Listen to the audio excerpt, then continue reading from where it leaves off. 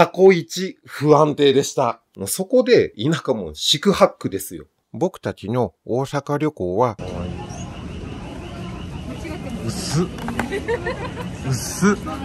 パパなんて、ヒーヒー言いながらスタンプ押してたですよね。もうね、ジュラーって、ジュラーって並んでて、モンチャンネルどうもこんにちは。モンチャンネルのデカモンチです。さあ、先日、私、大阪、行ってきました3年、4年ぶりの大阪いや、楽しかったっすね。いや、楽しかった。今回大阪行った目的は、門活です。外出自粛とかの制限がなくなったじゃないですか。だから、ぜひね、今年中に行っておきたかったんですよね。行っておきたかったの、大阪。で大阪周辺の方にとっては、は？お前大阪来たぐらいで何言ってんのって思うかもしれないんですけど、新潟から大阪って意外と遠いんすよ。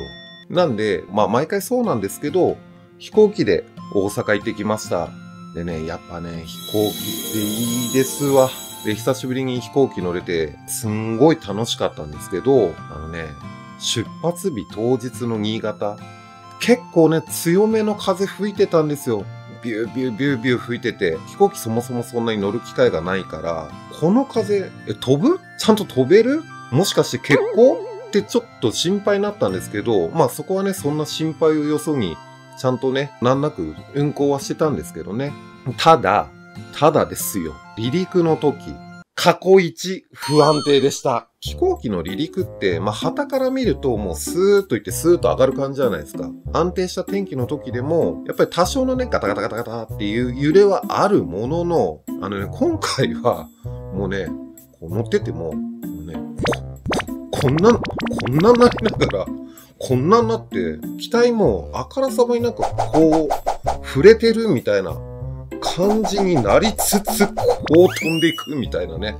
まあなんかほんとそんな感じだったんですよね。で、ちょっと前からそうだったのかもしんないんですけど、まあ今回飛行機もチケットレスで乗ってきたんですよ。チケットレス。田舎もんね、やっぱりチケットレスって慣れないっすね。慣れないっすわ。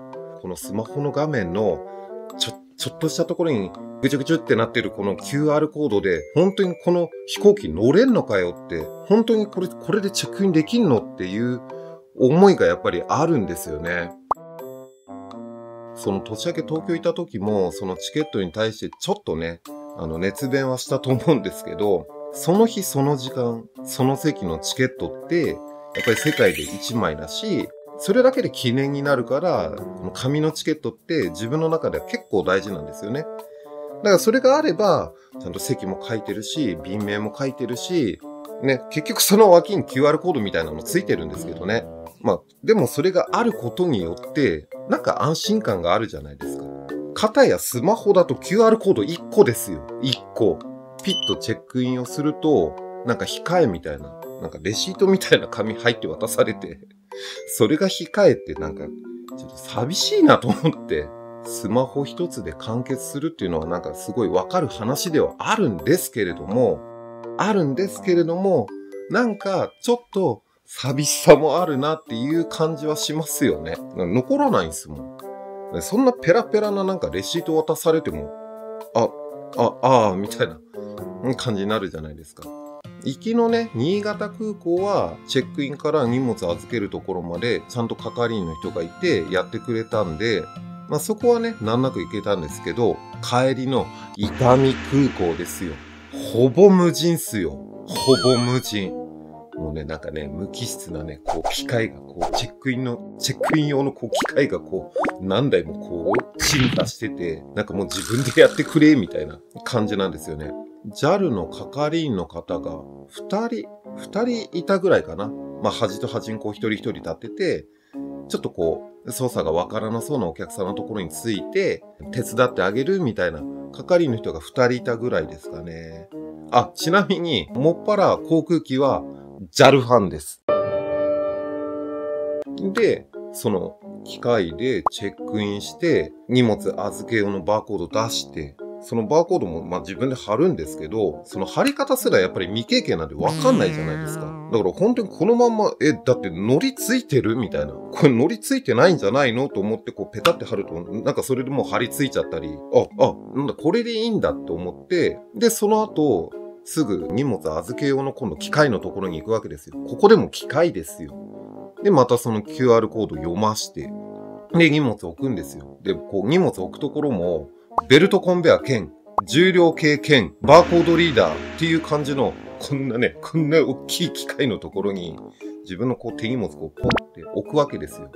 そうすると勝手にこうバーコードを読んでくれて、重量も測ってくれて、ビーって、ビーってもう荷物が、こう奥にこう流れていくシステムなんですけど、もうそこで田舎も四苦八苦ですよ。自分の前にやってた人みたいに、ちゃんとこう荷物を置いて、こうバーコード読むのこう待ってるじゃないですか。そうするとなんかこっちの画面にエラーって出るわけですよ。エラーって。え？と思って。あ、もしかして、バーコードのこう角度悪かったかなと思って、ちょっとバーコード起こしたりとかして、で、もう一回じゃあ、再読み込みってやるじゃないですか。で、こうやってふんふんって待ってると、またエラーなんですよ。またエラーなんですよ。うん、あ、じゃあ、もうちょっと荷物後悔？後悔？つって。で、またピッてやるじゃないですか。またエラーなんですよ。四苦八苦ですよ。もう、もう、なんか、何回やってもダメみたいな。もう最初からみたいな。挙句の果てにはなんか画面に係員呼んでくれとかって出たんですよ。だから、あ、これはいい機会だと。そのね、二人いるうちの一人、ちょっと捕まえて、やってもらおうと思って、チラって振り返ったら、もうそのお二人の、そのスタッフの方は、他のお客さんの対応、お手伝いで捕まってたんで、もうどうにもならなかったんですよ。どうにもならなくて、それでもまあシックハックしながらこう荷物をこうこねくり回してたら、なんとか読み込んで荷物ブーって預けられたから良かったものの、やっぱり慣れてないとこういうのってもう焦りますよね。焦っちゃいますよね。まあそんなところもね、まあ楽しい思い出の一部なのかなとは思いますけどね。ということでね、いつもながら余談長くなっちゃいましたけど、今回そんな楽しかった大阪旅行の模様をどうぞあ、この後、文字にバトンタッチします。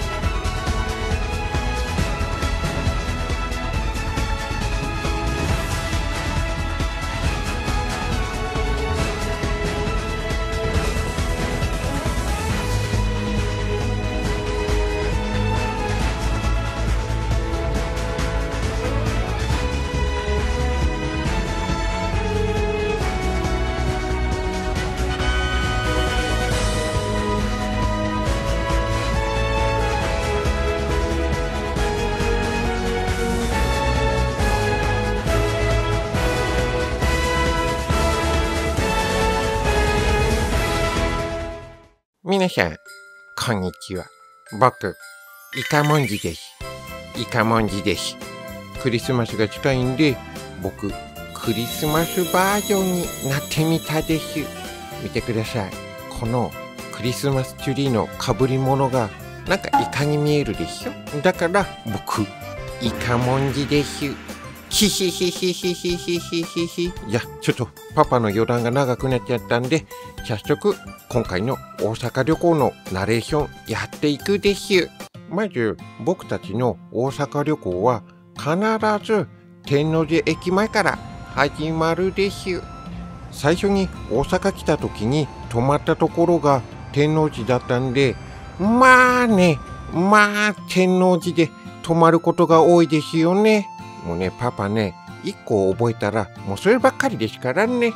で、ホテルに荷物預けて、モントモさんと合流して、最初の目的地に向かったです。最初の目的地は、同地下。ここで、モンチッチの期間限定のフォトスポットがあるってことで、来てみたです。見てください。このかわいいクリスマスデコレーション。あ、これに合わせて当日も僕イカモンジでいたです。ヒヒヒヒヒヒヒヒ。このフォトスポットは12月25日まで開催してるんで、お近くの方は行ってみてください。ここでみんなで連れてきたモンチッチを出して集合写真撮ったです。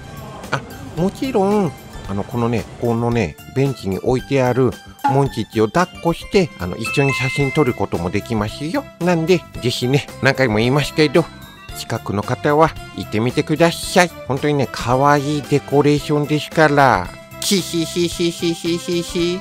ね、いっぱいね、ちょっと写真撮ってもらったんですけど、こういう写真撮影楽しいですよね。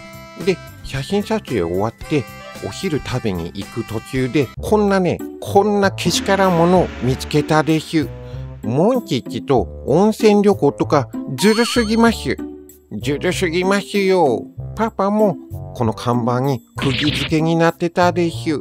他にも抽選会とかでモンチッチのね、ぬいぐるみやら雑貨やらが当たるキャンペーンやってるし、大都会ばっかりずるいです。ずるいです。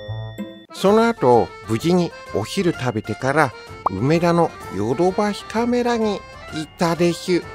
あ、お昼はアジフライ定食だったですよ。揚げたてサクサクで美味しかったです。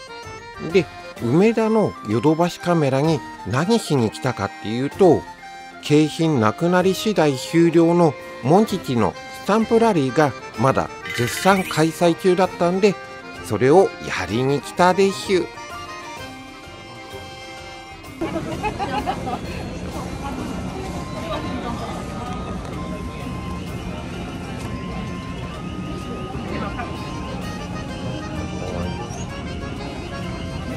薄っ。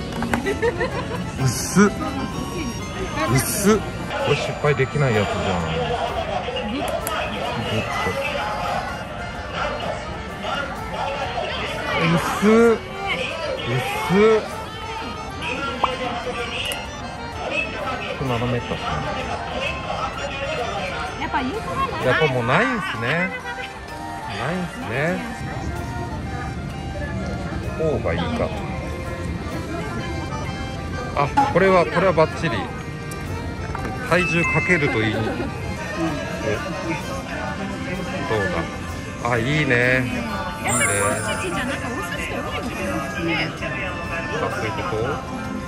もうね、お店が大きいから、一個スタンプをして、次のスタンプ押すところまで、だいぶね、だいぶ歩くんですよ。パパなんて、ヒーヒー言いながらスタンプ押してたですよね。いやだってさ人多いせいかすんげえ暑かったんだもんよ11月なのに汗拭きシート欲しかったもんなヒヒヒ。確かに人多かったですね。なんでかすんごい人いっぱいいたですね。特におもちゃ売り場なんて、もう、もういっぱいいっぱいいたですよね。